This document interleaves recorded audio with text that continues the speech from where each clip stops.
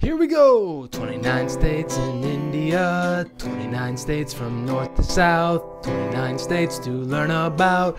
Let's say them all. Andhra Pradesh, Arunachal Pradesh, Assam and Bihar, Chhattisgarh, Goa and Gujarat.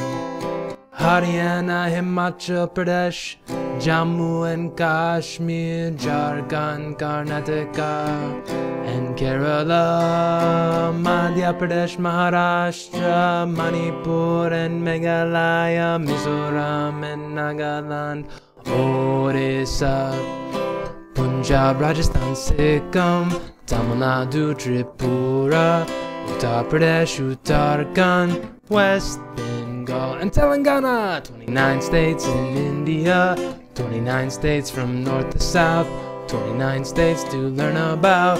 We said them all.